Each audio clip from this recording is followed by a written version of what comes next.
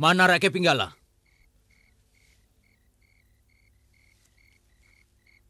Ampun Bapak, Rakyat Pinggala menolak datang. Rakyat Warak dan kau Rakyat Linggar. Panggil Rakyat Pinggala. Seret. Kalau dia tidak mau kemari.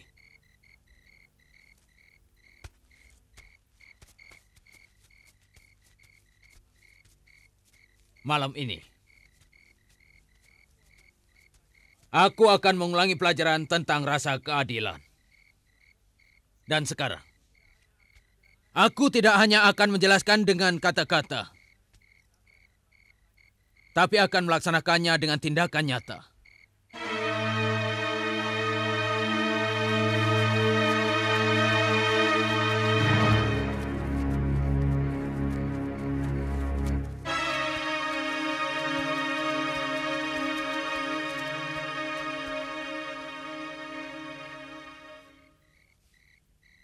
Ada apa dengan Acarya Siwanata?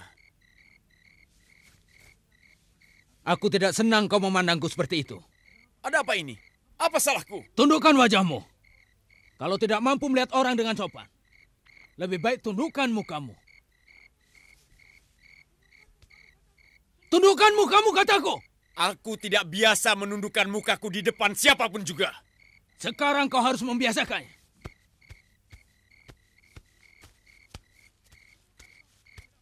Tundukkan mukamu. Kenapa kau marah-marah padaku dan Acarya Siwanata?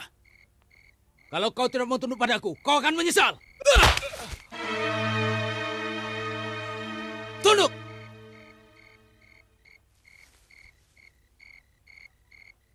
Bukankah kau berasal dari golongan kesatria?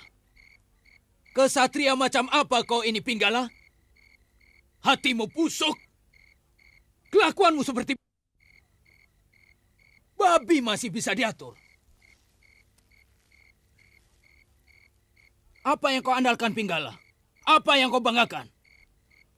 Apakah karena kau merasa keponakan orang berpangkat? Orang gede? Sehingga kau merasa bebas berbuat apa saja, di mana saja? Tidak peduli pada aturan atau hak orang lain. Begitu.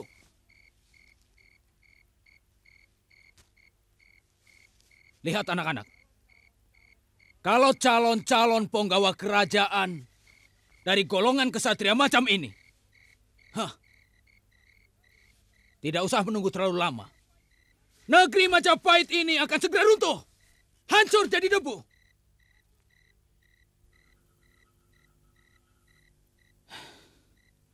Baiklah. Kita akan mulai pelajaran penting. Kalian dengarkan dengan seksama.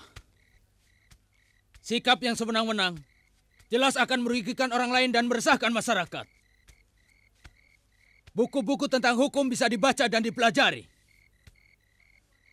Tapi kemampuan untuk membuat keputusan yang adil, itu persoalan lain.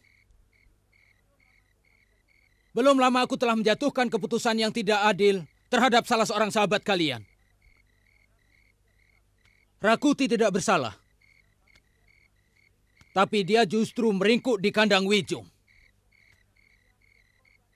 Dia menjadi korban dari keputusan yang tidak adil dan bijak.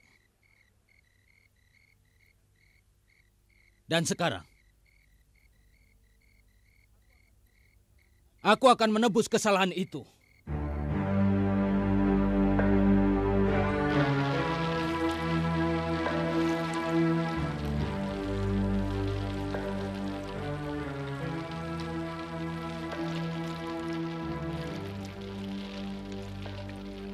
Lihat anak-anak.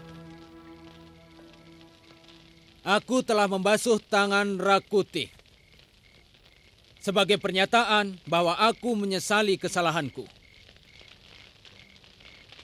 Mudah-mudahan bukan hanya Rakuti yang mengampuni kesalahanku,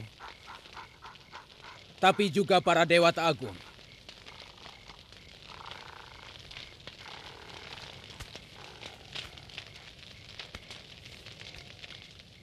Api adalah lambang semangat.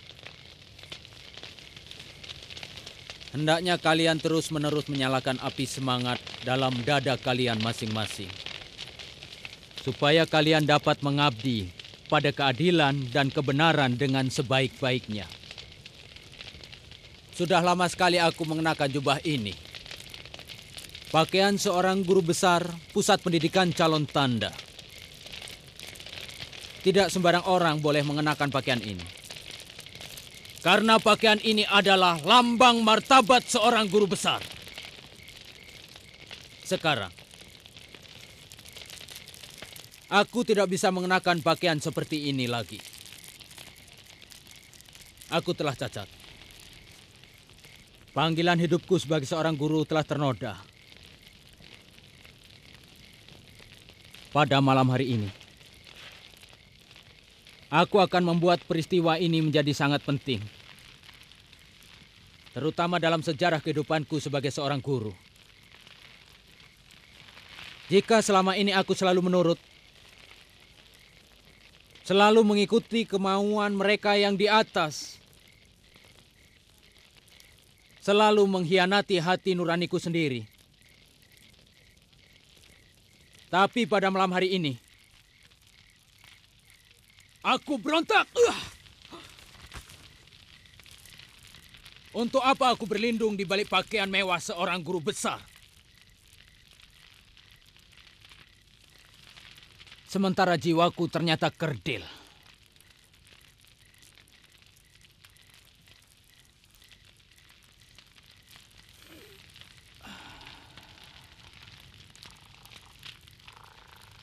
Berdiri!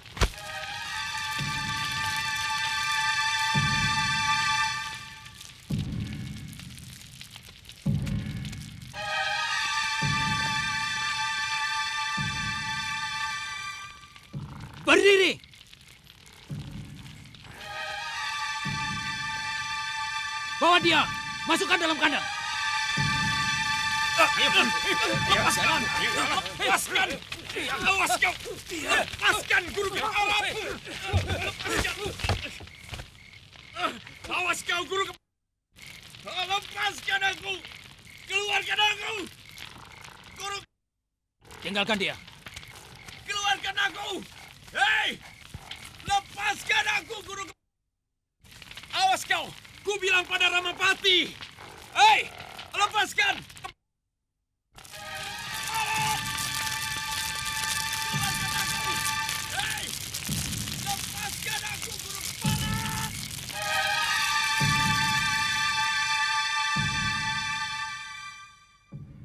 Sudah lama aku menjadi guru di sini. Tapi baru sekarang aku merasa sangat berdosa.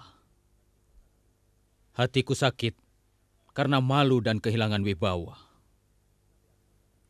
Tapi aku sudah memutuskan. Apa pun yang terjadi, aku harus mundur. Aku tidak tahan menjadi guru seperti ini.